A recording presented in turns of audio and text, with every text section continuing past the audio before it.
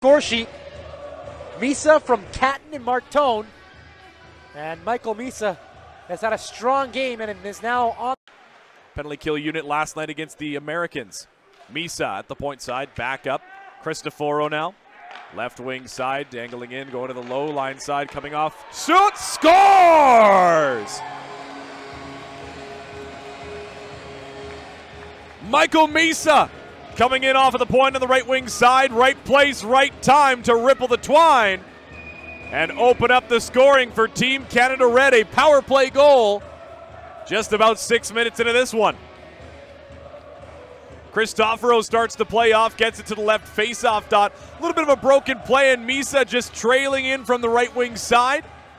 Gets on the inside of the face-off dot and just already down in the position, waiting nice and low to catch that one is a good centering pass across. That Queen has that puck stripped from him. Catton back the other way for Team Red as they gain the blue line.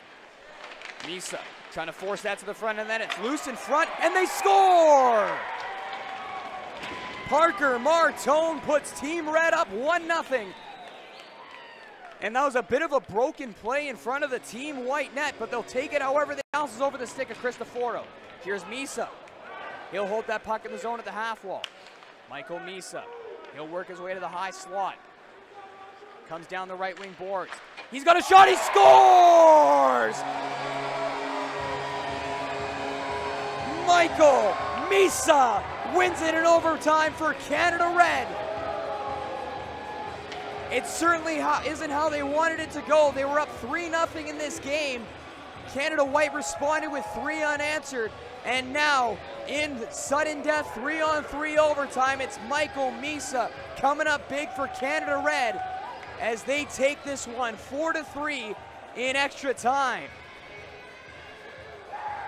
And a beautiful shot there for Misa as he goes high glove, beating David Igorov. And that'll finish this one here at the Langley Event Center.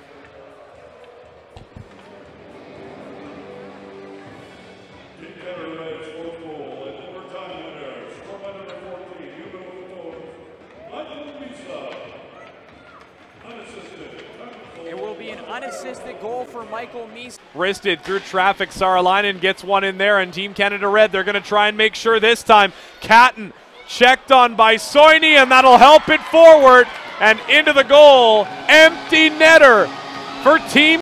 Played out to center. Hensler skates onto it. Falls. Catton picks it up wide open in front, and he scores! The captain, Berkly Catton puts Canada Red on the board. Snapshot top shelf off a turnover in the American zone. And the leading scorer for Team Canada Red adds to his totals. What a shot. And it's a two goal game with 16.49 to go. The feet got taken out right underneath them. Nice setup by Villanova, and you can see the hook right there. They're going to call it a trip.